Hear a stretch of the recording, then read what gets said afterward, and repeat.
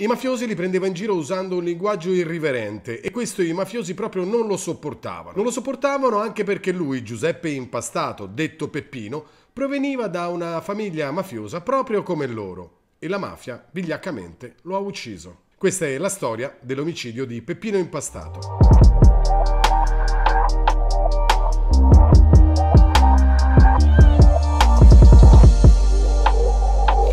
Giuseppe Impastato nasce in Sicilia, a Cinisi, in provincia di Palermo, nel 1948, proprio là dove anni dopo sarà costruito l'aeroporto di Punta Raise, aeroporto sul quale, secondo Peppino, e solo secondo Peppino, c'era l'interesse del clan dei mafiosi e per la sua costruzione ci furono violenti espropri. Il padre Luigi è un noto affiliato alla cosca locale, il cognato Cesare Manzella è uno dei capi di Cosa Nostra della zona. Peppino è della stessa famiglia ma di pasta completamente differente, milita in gruppi extraparlamentari di sinistra e denuncia come e quando può la mafia. Nel 1965 fonda l'idea socialista e si iscrive al PSIUP, il Partito Socialista Italiano di Unità Proletaria. Partecipa alle iniziative in particolare di lotta continua dove conosce anche Mauro Rostagno, altra vittima di mafia. Si mette al fianco dei contadini vittime degli espropri per la costruzione dell'aeroporto e non manca di lottare anche insieme ai disoccupati. Poi nel 1976 fonda il gruppo Musica e Cultura e l'anno dopo apre Radio Out, una delle prime radio libere dell'epoca. Lo studio è a Terrasini ed è ricevibile in zona sui 98 e 800 MHz.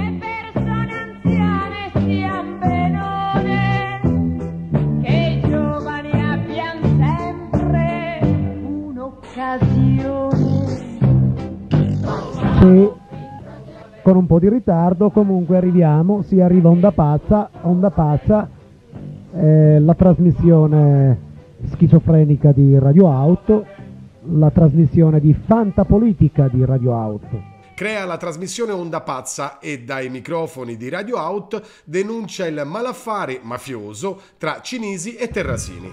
Erano le 5 in punto della sera bambino portò un lenzuolo bianco alle 5 della sera. Il resto era morte, solo morte, alle 5 della sera. Soprattutto però denuncia Gaetano Badalamenti, succeduto al precedente boss Cesare Manzella a capo del clan. E Cesare Manzella però è proprio lo zio di Peppino. Ma alle 5 della sera, in Mafiopoli, si riuniva la commissione edilizia. Ascoltiamo adesso l'inno nazionale di Mafiopoli.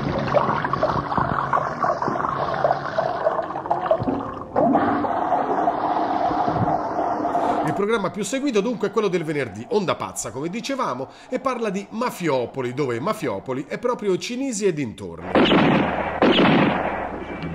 Eh, sì, siamo nei paraggi del maficipio di Mafiopoli, o se preferite del municipio di Mafiopoli. È riunita la commissione edilizia. All'ordine del giorno l'approvazione del progetto Z11 sì, sì, lo Z11. Il grande capo, Tano seduto, si aggira, si aggira come uno sparviero nella piazza. Sì, la, la commissione edilizia è riunita. Si aspetta il verdetto.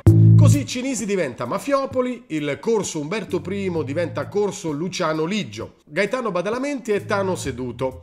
Il sindaco Gero Di Stefano era Geronimo Stefanini. Si è conclusa la riunione della commissione edilizia di Mafiopoli. Il progetto Z11 è stato approvato. I grandi capi delle grandi famiglie ringraziano. Qui Peppino e gli altri ragazzi parlano di un progetto, del progetto Z10, che loro chiamano Z11, e del progetto della costruzione di un palazzo abusivo in odor di mafia. E infine i grandi capi Geronimo Stefanini e Tano Seduto e soprattutto a sovrastare tutti, a sovrastare su tutto 6 miliardi concessi dalla cassa per la mezzanotte. In passato quindi si batteva contro la costruzione del palazzo abusivo di 5 piani e del villaggio turistico di Pozzillo, appunto il progetto Z10. Chi sarà il buono? Ma sono tutti buoni. L'approvazione del progetto era avvenuta con la massima cautela e non doveva essere pubblicizzata prima delle elezioni, stando a quanto diceva Peppino, il quale ne era venuto a conoscenza non si sa attraverso quale canale e aveva sputtanato la cosa sia alla radio sia nel suo ultimo comizio. Ma il, il cattivo, il cattivo tra loro non esiste, il cattivo è sempre al di fuori di loro.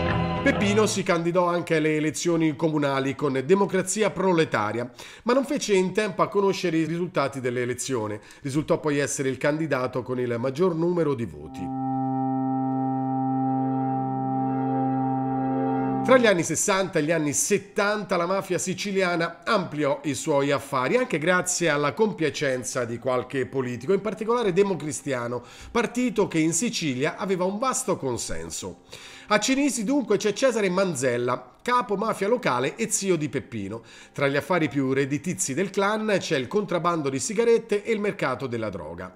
Manzella, nonostante sia descritto come persona violenta, è visto però come un benefattore. È stato espulso da poco dall'America dove gestiva sale da gioco a Chicago e adesso se ne va in giro per Cinisi regalando dolci ai bambini, finanziando un orfanotrofio, diventando addirittura anche presidente dell'azione cattolica di Cinisi. La sua vera attività però è quella di mediatore tra i clan locali, quelli palermitani e quelli americani.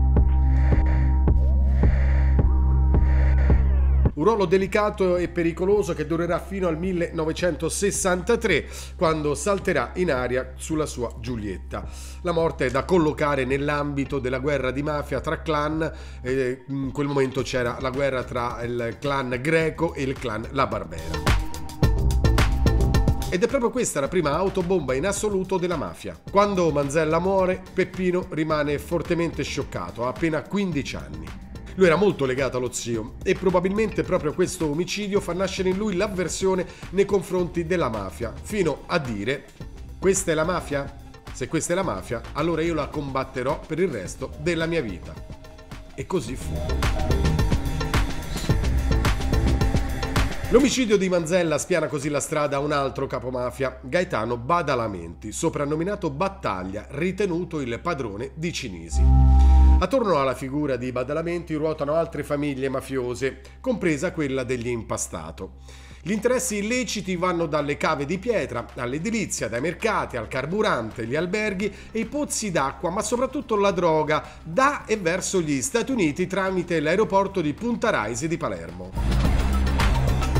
Il clan adesso controlla il 90% del traffico di stupefacenti dell'intero introito di Cosa Nostra. E questo fino alla fine degli anni 70, poi si scatenerà la guerra contro i corleonesi. Ma questa è un'altra storia.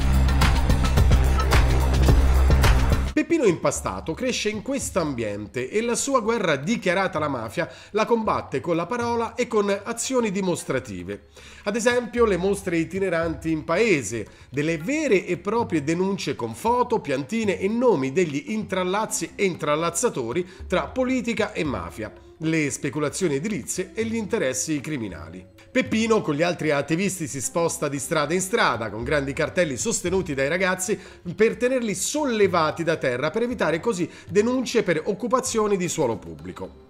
Ma tutto questo non va bene. Il padre di Peppino, minacciato anche da badalamenti, arriva a cacciarlo di casa in quanto lo considera un traditore. Il padre però sa che la mafia vuole uccidere il figlio, allora vola negli Stati Uniti per cercare una via di mezzo, una via di salvezza, un aiuto per mediare sulla vita del figlio.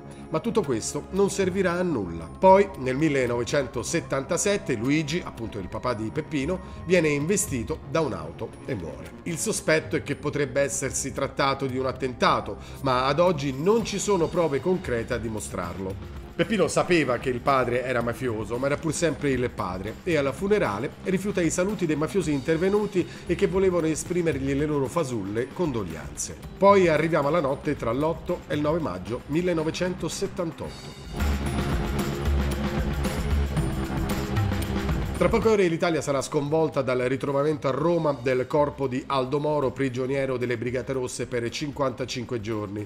Intanto sulla linea ferroviaria Palermo-Trapani una carica di tritolo esplode sui binari dilaniando il corpo di Peppino Impastato. Avvisati della morte, gli amici si precipitano sul posto, ma vengono tenuti a distanza. Che cosa è accaduto? Da subito le ipotesi su cosa potesse essere accaduto non convincono nessuno. Vengono subito perquisite le abitazioni di parenti e amici e sequestrati libri e riviste di lotta continua.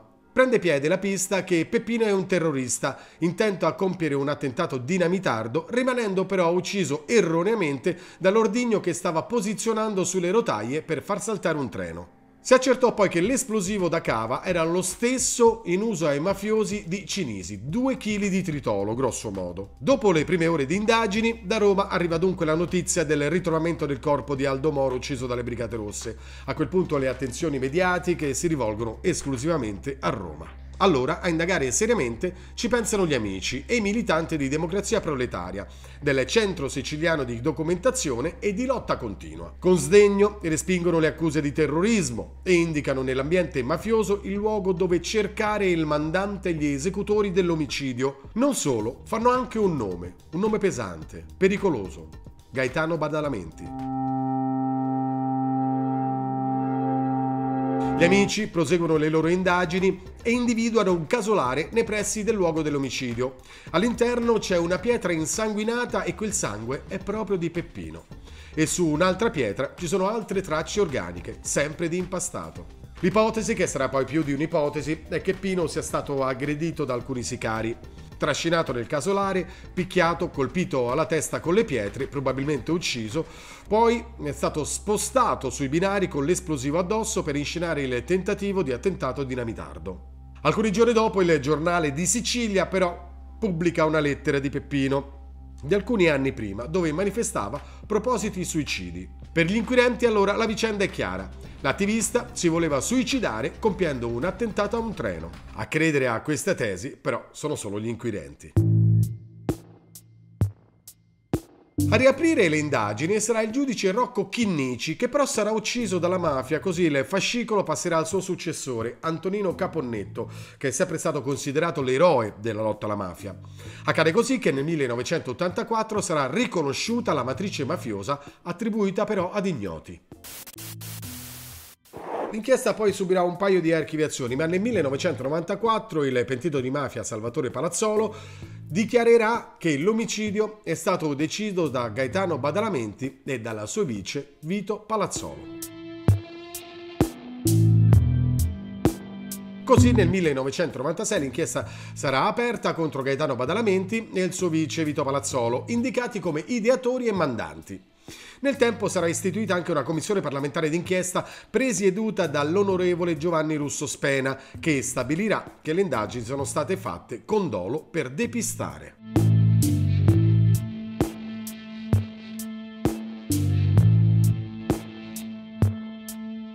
E arriviamo alle condanne nel 2001. Ergastolo per Gaetano Badalamenti e 30 anni per Vito Palazzolo mai individuati gli esecutori materiali, Badalamenti poi è morto nel 2004 in carcere negli Stati Uniti.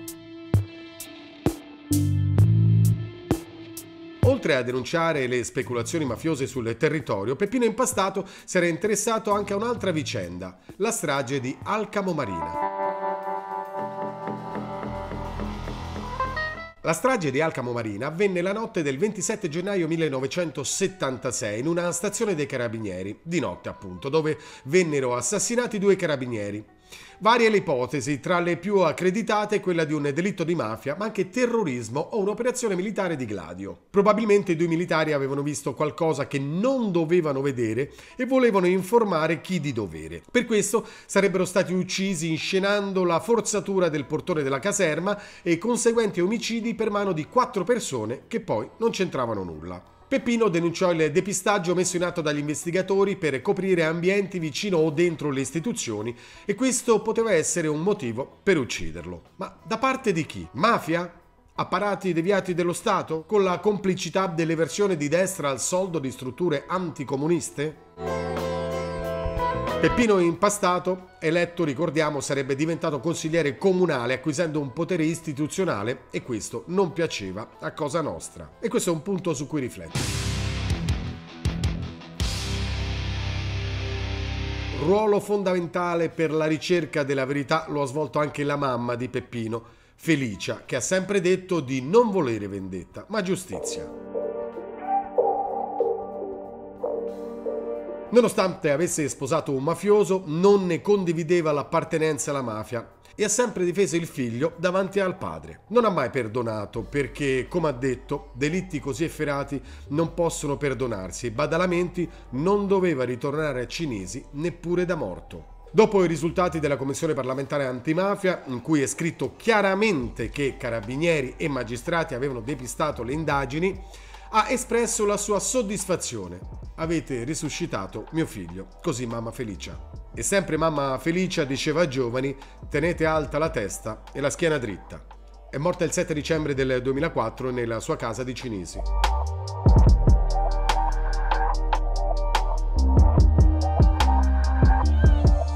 La storia di Peppino Impastato ricorda tra le altre quella di Ilaria Alpi o di Mauro Rostagno che avevano visto e saputo qualcosa di eccessivamente compromettente. La storia di Ilaria Alpi poi la potete trovare in questo canale. Tra poco anche quella di Mauro Rostagno. Insieme all'invito di mamma Felicia bisogna tenere presente tutta la storia di Peppino Impastato una persona onesta, un rivoluzionario con intelligenza e sensibilità sopraffina che ha avuto il coraggio di combattere faccia a faccia la mafia con la quale era cresciuto respingendola e denunciandola. Questo è stato Peppino Impastato.